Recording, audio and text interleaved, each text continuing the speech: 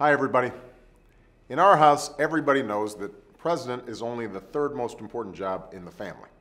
So this weekend, I'm going to take a little extra time to say thank you to Michelle for the remarkable way she does the most important job, being a mom. And I'm going to give extra thanks to my mother-in-law for the role model she's always been to Michelle and the countless selfless ways in which she's helped Michelle and me raise Malia and Sasha. I am incredibly lucky to have these wonderful women help me raise, love, and look after our girls.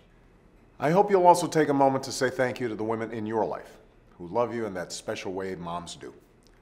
Biological moms, adoptive moms, and foster moms, single moms, grandmas, godmothers, aunts, mentors, whomever you think of when you think of Mother's Day.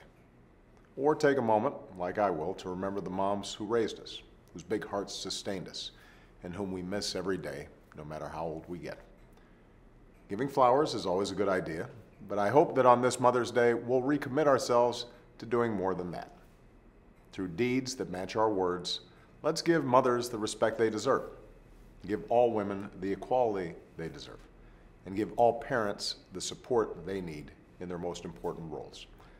That includes paid maternity and paternity leave, sick leave, accommodations for workers who are pregnant, good health care, affordable child care, flexibility at work, equal pay, and a decent minimum wage. We ask our moms to do more than their fair share of just about everything.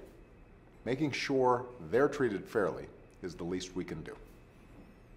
The idea of setting aside a Sunday in May for our mothers became an official holiday with a congressional resolution a little more than 100 years ago.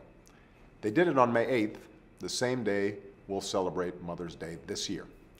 If Congress can make a holiday, surely they can back it up with the things that give it meaning. After all, that's what my mother taught me. I couldn't just say I was going to do the right thing or say I agreed with it on principle. I'd actually do it. So this Mother's Day, say thank you. Say I love you. And let's make sure we show that gratitude and appreciation through acts of respect throughout the year.